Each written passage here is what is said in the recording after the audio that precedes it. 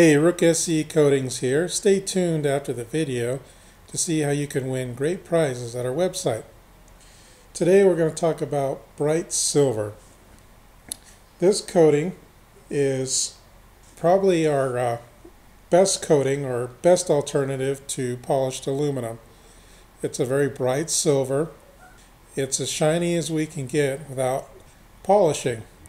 Traditionally, a lot of people will use our polished aluminum ceramic finish, which is good, but only good up to 1300 degrees. The bright silver version is good up to 1600 degrees. So it's kind of a much better coating for heat management. This coating we would recommend for higher heat applications such as uh, motorcycle pipes that may not be able to handle the uh, polished aluminum coating uh, muscle cars and exhausts that want that shiny look, turbos or diesels.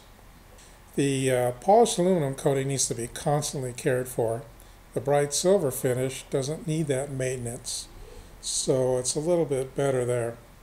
Bright silver is a great looking coating and it looks good on those applications that you kind of want a shiny finish but uh, don't want to have to maintain it. So use it and check out ruksecoatings.com.